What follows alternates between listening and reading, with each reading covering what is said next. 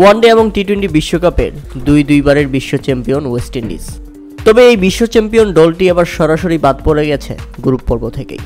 খেলার সুযোগ পায়নি মূল পর্বে। শুধু এখানেই শেষ নয়, প্রথম রাউন্ডে ছোট দলগুলোর সঙ্গে বাছাই পর্ব খেলতে হয়েছে তাদের। সেখানেও হুচট খেয়েছিল নিকোলাস পরনের দল।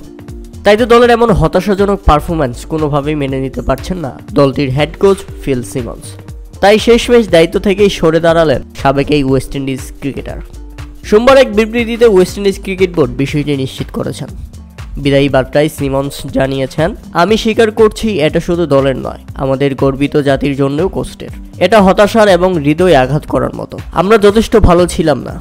এখন আমাদের মাঠের বাইরে বসে থেকে একটা টুর্নামেন্ট দেখতে হবে। এটা অগ্রহণযোগ্য। এজন্য আমি আমাদের ভক্ত ও অনুসারীদের কাছে অন্তর থেকে ক্ষমা চাইছি।